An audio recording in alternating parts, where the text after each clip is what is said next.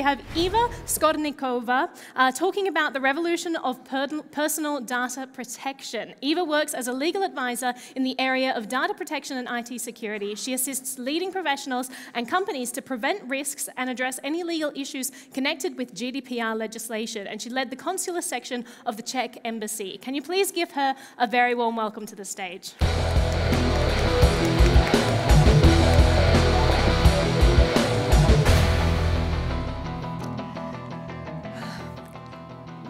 Morning, Vilnius. I apologize for, for not having the, any relatives here in Vilnius. However, I have a lot of friends here. That's why I just arrived early and I spent wonderful time on Saturday evening uh, just in the downtown of, of, the city because I visited the city a couple of times in, in my past career. Uh, anyway, I am here to introduce you GDPR. Uh, have you ever heard about this regulation? You should because you are EU country here. Please just raise your hands who is aware. All right, okay. How do you like it? I think that you should, uh, at least uh, you probably heard uh, the story about uh, Cambridge Analytica and Facebook and the recent development, what happened also with the value of uh, shares of, of, uh, of Facebook uh, uh that uh, just uh, you know, significantly impacted the business. And that's why I, I say, and I, I, I, couldn't wish the better promotion for GDPR just one month prior to, you know, its enforcement. And um, I would really like you uh, to pay attention uh, to, to this regulation and not to bring you know, the attention of the regulatory bodies and regulators to your businesses because uh, as I could hear on other uh, events, I am also presenting and I have a speech on d10e, which is the fantastic uh, organization. Uh, it's um, uh, the, the, investment into your ICOs are quite high. So I think that you don't have to uh, exactly uh, uh, just collect the money and immediately just transfer them to the uh, regulator's budget. So unfortunately, I don't have a lot of time here, just 15 minutes, and I usually speak about GDPR for more than two hours. So I would like to just pick up the highlights and just to give you really a very brief overview what is going on and what will happen once you know GDPR will just become uh, effective since uh, 25th of May. What is GDPR? Uh, I just assigned these, you know, uh, words to, to the proper words. I, I think that uh, they definitely reflect, you know, the main purpose why EU regulators and EU uh, authorities just decided to implement this new set of uh, harmonized data. So the main objective is really giving data proper respect, so giving the rights to us as uh, individuals to have a control uh, over our personal data that are processed, that are arch archived, that are the subject of, you know, analytical uh, researches uh, back to back to us, and uh, we have to uh, we will have a much you know uh, strengthened uh, rights to uh, to to keep the control over our personal data. GDPR is something which doesn't happen overnight. the EU authorities just started, you know, working and drafting this law since 2012 and for more than four years, uh, uh, the GDPR was uh, adopted in, uh, in April 2016.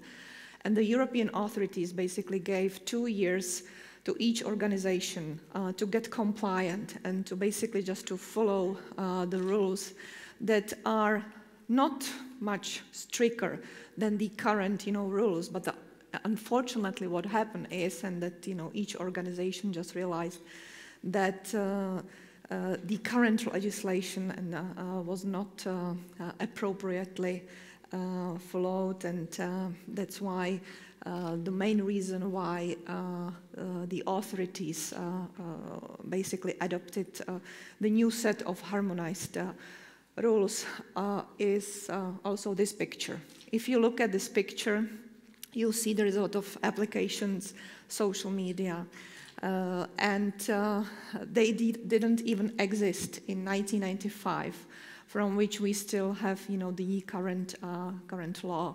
The main difference between uh, between uh, GDPR and the current uh, regulations, that GDPR is regulation, which means that this is the, the form of the legal act which is going to be immediately automatically implemented in each EU country. And you don't need to transpose you know, these rules uh, via your local law. And this is a huge difference. So that's why the law is here uh, since April 2016. And uh, it's not, you know, sexy reading, especially prior to going bad, bad because uh, it has more than 100 articles plus many recitals, and this is quite complicated law. And probably you are not familiar with the structure of the law, so that's why it's uh, very complex and it's very general. Uh, and each EU country should uh, adopt their you know, new set of rules that will be basically just in line with regulation. So this is not going to be a new law which uh, will transpose a whole set of rules from GDPR into, uh, into each uh, uh jurisdiction, but uh, uh, just you know the um, alignment of your local rules have to be exactly in line with the GDPR. So the, uh, the main reason why GDPR is here, because as I said, many of these applications didn't even exist in uh, 95, so that's why it was really you know, needed to adapt the new set of rules that will also follow the technical development and you know just the transfer of the of the personal data uh, on to the to the digital world and to the online world. Uh, this picture is quite scary, and this is what I just said at the beginning. Uh, pay attention to the rules, because uh, I think it would be shame just to present your investors the project that will immediately become non-compliant uh, with, uh, with the new regulation and uh, I think that uh, each company at least should uh, start, you know, adapting the, the, the, new rules. Obviously, 20 uh, million euros or 10 million euros uh, cannot be, you know, imposed on the small, uh, small companies. It always will just depend on many uh, circumstances. So uh, just for you, you have to be really aware of, of these huge penalties. And uh, in the light of the recent development with Facebook and the Cambridge Analytica, I think that, you know, regulators will be even more stricter and they will really just pay uh, uh, to pay attention that, uh, and they will just control that the companies are really in, in, in line and they just started adopting, you know, the new rules. If you just look at some statistics, uh, you see that uh, uh, not many companies will be fully compliant by May this year. Uh, there are you know, numbers like 60%, 50%. Uh, but the, the, the, most important thing is that you know journey just starts. It starts uh, from May. It's not the end of the story that you know two years some you know companies just did that they did something uh, to get compliant. But the journey starts really because the law uh, you know uh, come first, and that's why you know the regulators will have a uh, right and they have a uh, you know, much uh, stronger control uh, what what you are doing. So please just don't bring attention to your to your ICOs and to your fantastic projects.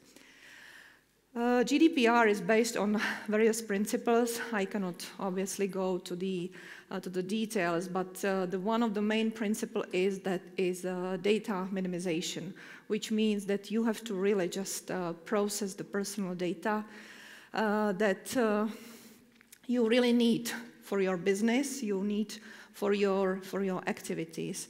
So uh, we have a tendency as a, as a human beings, you know, to collect uh, so much, you know, data and sometimes we don't even use them. And this is, uh, uh, this is something what GDPR doesn't like. GDPR really just wants us to, uh, to, to process and to work and to collect the data that you know, we really need uh, to, for, for your daily activities. There are some specifics with respect to the blockchain. Uh, I probably don't have to go to the details of what this blockchain means. I just, you know, highlighted the main uh, characteristics, you know, of, of, the blockchain because it has a, uh, a, quite challenging, you know, impact on GDPR because when the GDPR was drafted, uh, nobody talks about the blockchain and about the technicalities, you know, how the blockchain is uh, basically designed. So uh, on one hand, I would say that um, controllers and uh, the authorities, regulators would love the blockchain because as a summary, uh, the blockchain is some kind of the electronic database uh, which is secured against the data manipulation.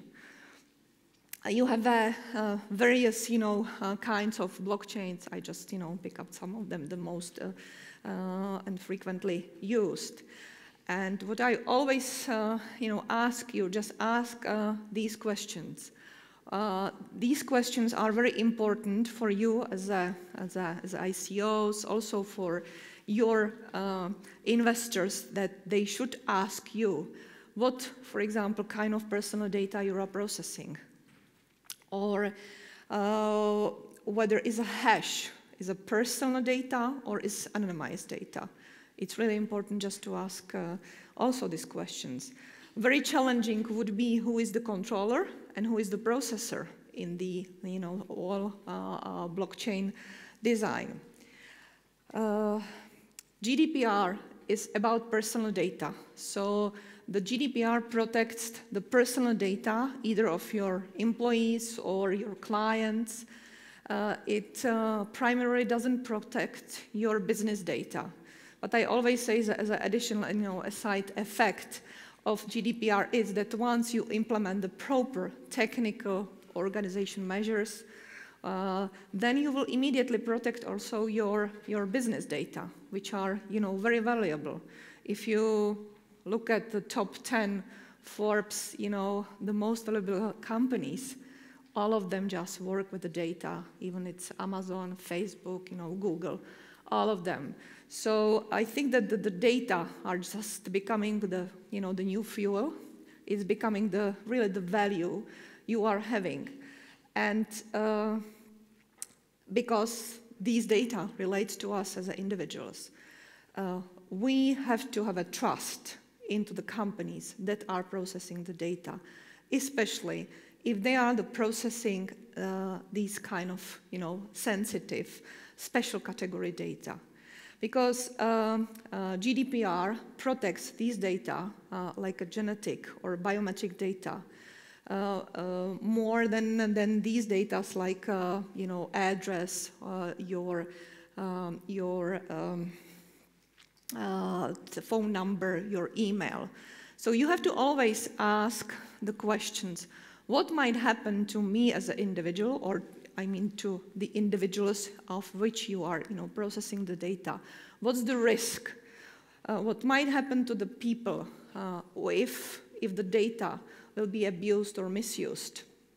What might happen? We could see that you know, on the Facebook issue, what might happen you know, with, the, with the manipulation of, uh, of the data. So uh, just pay attention really in case that you are not, uh, uh, not processing or just collecting these data. But much more important just, is just to, uh, to, to pay attention when you are processing this kind of data, genetic, biometric data. So the genetic data, primarily all the data that are related to, to our health conditions and biometric uh, you, you probably know what, what's, the, what's the main purpose of the biometric data. Uh, good question is uh, whether blockchains really just process personal data. It really, it really, uh, um, it really depends, and uh, this is the, the question when you start designing, you know, the, uh, the, the, your blockchain, your project. Just ask these questions. I have to just run because two minutes, this is scary, you know, now I am just in the middle. However, just to tell you that in case that you would like to get this presentation, just ask me. And obviously I can just have a discussions, you know, separately during the all day when, uh, when I am here. So you'll see, uh, this, this picture is also very important. You have to, uh, you have to assign, you know, to your processing, to processing of the data, the appropriate, you know, legal title. Consent would be probably one of the main uh, uh legal titles you can use in, in, in the blockchain. Uh, processing of the personal data, again, all these activities definitely just, you know, come into the scope of, of, of your businesses and uh, Uh, uh, the other, you know, very important, uh, uh important criteria is to, to distinguish whether you are so-called controller of your, of your data or whether you are processors. Because that's a very challenging question, in the, again, in case of the blockchain, who is basically controller and who is a processor? Because it really comes from the definition and from the, from the uh, structure of, of the blockchain. Uh, there are, uh, you know, various responsibilities and obligations coming from, from GDPR. The one of them is uh, that you have to, in case that you will just have a data breach, you have to notify the regulators. There are certain terms and uh, the period within which, you know, you are, you are obliged to notify, uh, notify regulators.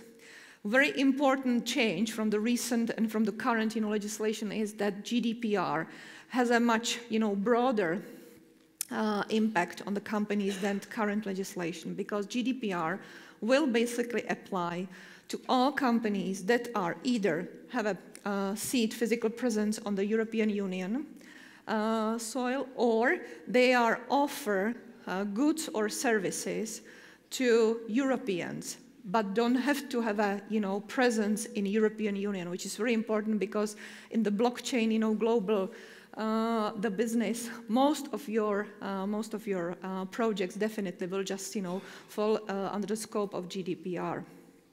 That, that's another, you know, very uh, challenging question for the blockchain. Who, you know, which law basically will be the, the, the, the, main law that, you know, basically will just govern your, govern your um, business. Uh, as I said in, you know, at the beginning of my presentation, GDPR just strengthens our rights as individuals. To each right corresponds the obligation on, on the side of the company. So that's why you will have a lot of responsibilities and you really have to put your you know, paperwork prior you're starting any project. It's really important and this is what, for example, Joanna just said, that you know, Uh, uh, you have to be uh, uh, clear and you have to be open to your investors. So please just make sure that you know all these accountability obligations you, you meet it's again it, it, it, depends on the on the on the data on the character of the data you are processing because, for example, you will definitely have to go through DPIA assessment, which is in blockchain also very important. It depends which blockchain you just uh, chose for your, uh, for your project. So, and I would say the one more very important thing that you will need EU representative not uh, just in the form like a data protection officer, because sometimes you don't need a data protection officer, but if you don't have a presence, physical presence on EU, soil, you at least as an American company or any, any other company, uh, you need the uh, representative for, uh, for, uh, for your company and two, for, for the, as, a, as a main contact for your clients, also for the regulators. So I am just at the end. Uh, sorry, uh, that was really fast. I'm not used to have such a, you know, short presentations, but uh, as I said, there are my contact details in case you would like to get the presentation and just to get, the, you know, more details, just let me know. Thank you.